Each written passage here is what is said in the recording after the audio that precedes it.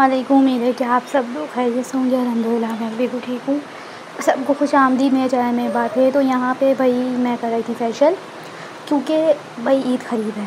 तो ईद से पहले जो है, सब लड़कियों की यही एक जो है कोशिश होती है कि हम अपनी अच्छी तरह क्लीनजिंग कर लें फैशल कर लें। कुछ लड़कियाँ जो है, वो पार्लर भी जाती हैं, लेकिन हम लोग घर में करते हैं। और मैं ये समझती हूँ कि पार्लर के चक्कर लगाने से बेहतर है कि इंसान घर में ही कर ले।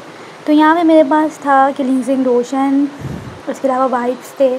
और मास्क था, वह मसाज क्रीम थी। तो मसाज क्रीम थी तो मैंने कहा कि चलो पहले मैं अम्मी के फेशियल कर लूँगी, फिर मैं अपने भी कर लूँगी। वैसे तो ये कि मुझे ये काफ़ी पहले करना था, यानी ये एक हफ़्ते पहले थे, क्योंकि जो है और भी काम होते हैं जैसे जैसे ईद करीब आती है। लेकिन मैंने कहा, चलो कोई बात नहीं तीन चार दिन पहले भी हो जाए तो कोई मसला नहीं है। तो यहाँ पे ये था आईब्रो पेन वैसे तो खैर ये आईब्रो पेन है, लेकिन मैं इससे अपर लिप्स भी बना लेती हूँ। और आईब्रो वाला जो है ना, ये आईब्रो भी बहुत अच्छी बना लेता है और अपर लिप वाला पेन हमारे पास दूसरा था, लेकिन वो ख़राब हो गया। तो मैंने कहा, चलो, इसको भी इस्तेमाल में ले लें।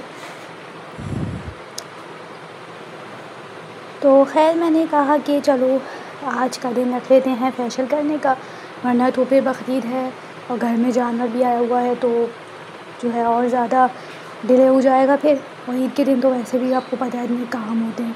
उसमें तो फिर इंसान को अपनी इतनी ज़्यादा परवाही नहीं होती।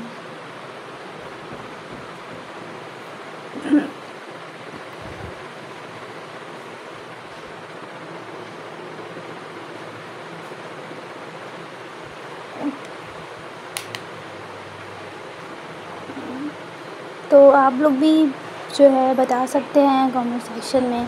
कि आप लोग की ईद कैसी गुज़री और क्या क्या किया हम लोगों ने।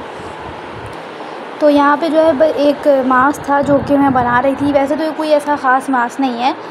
मुल्तानी मिट्टी फेस मास्क कह सकते हैं इसे आप। इसके अंदर जो है आपने आखे गुलाब शामिल करना है। तो मैं आखे गुलाब इसके अंदर शामिल नहीं करूँगी।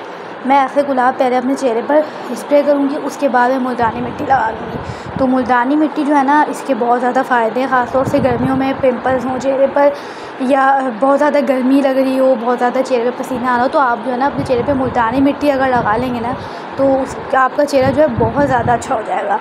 और चेहरे की रंगत भी निखारती है, यानी कि इसके बहुत ज़्यादा फ़ायदे हैं। तो अब यहाँ मैंने जो है अपने चेहरे पे मुल्तानी मिट्टी अच्छे तरीके से लगा चूँकि हूँ मैं फेशियल भी मैंने कर लिया अपना अम्मी का भी।